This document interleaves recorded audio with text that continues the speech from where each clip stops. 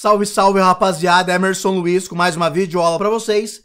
Bom, pessoal, primeiramente eu gostaria de agradecer a atenção e o carinho de todos vocês que vem acompanhando o canal da i7 Telecom aqui no YouTube, a galera que vem deixando seus likes nos vídeos, o pessoal que vem se inscrevendo no canal e também a galera que me adiciona no WhatsApp para contratar a parte de serviços, consultoria e configuração online para sua rede, o seu provedor, para sua empresa e também agradecer a galera que vem adquirindo os cursos e videoaula, conteúdo privado e particular aqui no canal. Muito obrigado, pessoal, a todos vocês. Graças a vocês o canal vem crescendo a cada dia que passa e com isso, sempre que posso, crio mais conteúdos, mais videoaulas e mais conteúdos particular, que são os cursos e videoaula para quem tem uma necessidade de aprender a configurar uma determinada situação para sua rede, para seu provedor, para sua empresa, onde você utiliza equipamentos da linha MikroTik, tá? Bom, galera, vamos lá.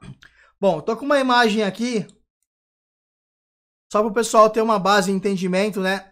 Estrutura básica CGNAT. Vamos supor que eu tenho... Uh, vamos supor que eu tenho ali um link de internet, contratei um link dedicado, tá? Esse link dedicado me forneceram um barra 30.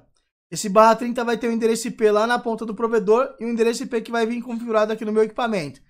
Tem um microchip, tem uma router board, né? E vou configurar esse barra 30 na minha router board para receber o link da internet. Até aí não tem dificuldade nenhuma, tá tudo tranquilo, tá tudo certo. Só que eu tenho uma quantidade X de clientes, né? E essa quantidade X de cliente, é, todos esses clientes da minha rede saem pelo meu endereço IP barra 30, que é só o endereço IP. Então, conforme eu tenho muitos clientes, eu começo, eu começo a ter reclamações de clientes falando que não está conseguindo acessar Netflix, que não está conseguindo acessar uh, alguns sites de jogos, não está conseguindo conectar o seu videogame online, não está conseguindo acessar algum stream online, está tendo alguma dificuldade em alguns serviços.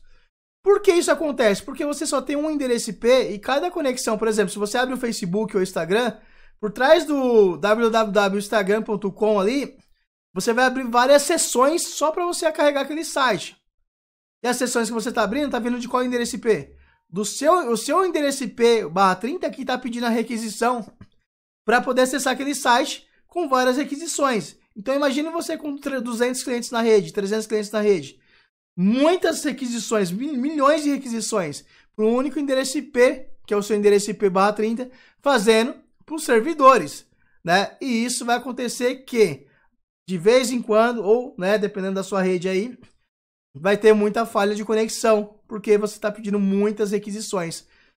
Qual é a solução mais correta para isso? A mais correta é, se você atingiu 300 clientes comprovados, você tem um link dedicado, peça um outro link dedicado. Por quê? Para você dar entrada no seu ASN, para você ter o seu blo próprio bloco de endereço IP público. Dessa forma, você vai distribuir o endereço IP público para todo mundo da sua rede, sem ficar regulando. Porque endereço IP público, quem tem, meu, não regula. Não fica com dó de liberar endereço IP público, entendeu? Endereço IP público, você vai lá, tira no registro BR e tira para você liberar para seus clientes, para você não ter dor de cabeça na rede. Agora, eu vejo muitas pessoas que têm endereço IP público, tem ASN, e tá aí, pessoal, né? É, tá, tá, tá regulando, tá, tá segurando esses endereços IPs públicos. Cara, você já vai você já tá pagando por isso. Por que, que você não fornece endereço IP público para os seus clientes na sua rede que te paga a internet? Ah, mas cada cliente tem que pagar o endereço IP público. Ah, aí você vai ter mais reclamação. Evita de ter reclamação, dor de cabeça. Entrega um serviço de qualidade. É isso que acontece. Tem pessoas que têm mau planejamento. Ah, não, só vou entregar se ele contratar IP, IP, IP fixo. Cara, para de besteira, velho. Se você já tem o seu barra 22, se você já conseguiu o seu barra 22 IPv4 e barra 32 IPv6, manda IPv6 para todo mundo da rede, gente. Para de frescura, velho. Para de frescura, manda esse negócio funcionar. Por isso que o Brasil é atrasado nas coisas. Por quê? As pessoas que têm a tecnologia nas mãos ficam segurando para poder jogar a tecnologia para frente, para o pessoal usar. Enquanto mais você segura, é pior para você, dono de provedor. Quanto mais você fica travando esse recurso, pior para você, mais dor de cabeça você vai ter. Entendeu? E aí você vai contratar uma consultoria, a pessoa vai te cobrar em cima da consultoria, da dor de cabeça. Simples assim, pessoal. Ninguém vai fazer nada de graça para ninguém. Entendeu? A gente tra... as pessoas estudam, obtêm conhecimento para poder ser prestador de serviço, ser especialista em tal área, uh, executar serviço. E pessoal, se você busca serviço assim, você está buscando alguém que entenda, que configure, que faça aquilo, a pessoa vai cobrar o valor que tem que ser cobrado, entendeu? E se você tá comigo, ah, tô com, não vou passar endereço IP público, só se o cara, você quer ganhar demais em cima de tudo e você acaba perdendo lá na frente. Porque se vir um outro provedor que tem uma boa gestão, uma boa administração e tem um pensamento amplo, já vai entrar e vai derrubar, vai queimar você aí na sua região entendeu? Vai detonar, vai passar por cima de você. Então você, que é um provedor de internet, já tem endereço IP público, pessoal, passa esse endereço para todo mundo da sua rede. Não fique com miguelagem, não fica regulando endereço IP para seus clientes, não. O que, quem paga essa internet aí, quem paga, quem te dá, traz o dinheiro, é seus clientes. Quem te traz aí a grana que você ganha aí mensalmente são os seus clientes. Então você tem que atender seus clientes de forma interessante, de forma boa, né? Educado, entendeu? Prestar serviço de qualidade, tem solução para vender para o seu cliente, já entrega para o seu cliente de uma vez por toda, entendeu? Não tem solução? Entra para o CGNAT. Ah, eu tenho um barra 29, eu tenho um barra 30 aqui, só que eu quero fazer CGNAT. Você não vai fazer CGNAT com o único endereço IP, não vai adiantar. O que você vai fazer? Pede para o seu provedor um barra 29 no mínimo. Você vai ter oito endereços IPs e aí você consegue fazer o CGNAT você consegue fazer o CGNAT dividindo por grupos, que é o que eu faço, que eu acho o melhor que tem. Você pega esse barra 29, vai dividir, vai dar 8 endereços IPs. Você vai dividir esses 8 endereços IPs por grupos de redes internas. Cada grupo vai sair pelo endereço IP diferente do seu barra 29. E com isso você vai diminuir toda essa dor de cabeça da sua rede, caso você não tenha sua SN. Agora eu vejo pessoas que têm a SN e querem fazer CGNAT. Não tem sentido isso daí, pessoal. É muita, é muita besteira e burrice, não tem sentido. Você já tem um bloco de IP lá com milhões de endereço IP.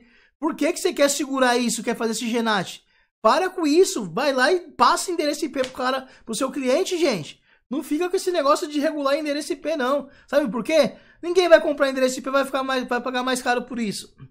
Tá? E você vai ficar tendo dor de cabeça. Você já pagou o bloco e todo ano você vai ter que pagar aquele bloco de IP. Não é seu bloco, você está alugando, você sabe, concessão é aluguel. Entendeu? Não é, ah, comprei é meu. Não, você está alugando o bloco de endereço IP junto ao registro BR. Então esquece essa ideia de deixar o bloco parado lá. Tem muitas pessoas que pegou IPv4, usou IPv4, só que IPv6 não implementou na rede. Não colocou para rodar na rede. Por quê? Porque não quer pagar alguém para fazer isso funcionar. Simplesmente por causa disso. O cara tá lá, tem lá mil clientes, não quer pagar alguém para fazer o negócio rodar na rede dele.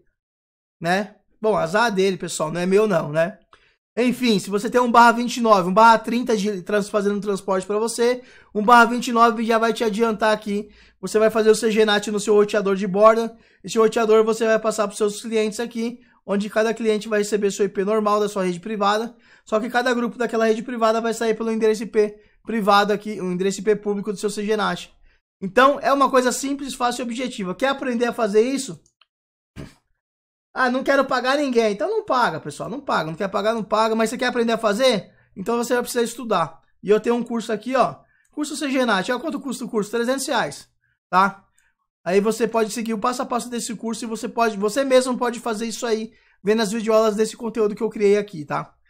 Esse conteúdo é só para as pessoas que estão nesse padrão aqui, que tem ali um barra 20, tem um barra 30, um barra 29 e quer dividir o barra 29 e fazer esse GNAT na rede. Então eu tenho esse curso passo a passo aqui ensinando a fazer essa, essa configuração aí no seu MikroTik, beleza? Lembrando, se você quer buscar cursos em videoaula, conteúdo privado, uh, conteúdo 100% em videoaula, nada de PDF, nada de blá blá blá, conteúdo que você realmente aprende de verdade, eu tenho aqui uma lista com 25 cursos em videoaula. Cada curso tem o seu valor agregado, né? Que é o valor do, do conteúdo que eu gravei. É o meu trabalho, o meu esforço e o meu conhecimento que eu, que eu tô compartilhando aqui uh, com as pessoas nesse conteúdo. E aqui eu tenho a mega promoção, que são todos os 25 cursos por 700 reais nessa mega promoção. Cada curso na mega promoção sai por 28 reais, levando os 25 cursos você paga 700, beleza? Forma de pagamento é Pix e PicPay se quiser fazer pagamento no cartão. Não quiser fazer no cartão, é Pix, beleza? Ou transferência online, que é o Pix hoje, pessoal. Não tem jeito, né? Então, é, então essas, essas são as soluções que eu tenho para vocês que estão buscando esse tipo de conhecimento, esse tipo de estrutura ou de solução para sua rede, tá? E aqui é o meu WhatsApp, tá aqui nesse QR Code, é só você, se você quiser falar comigo também, né? Quiser falar comigo, é só você apontar a câmera do seu celular pro QR Code aqui, ó. vai me chamar lá e falar comigo o que você precisa. Beleza, galera? Muito obrigado mais uma vez pela atenção e até o próximo vídeo. Valeu, fui!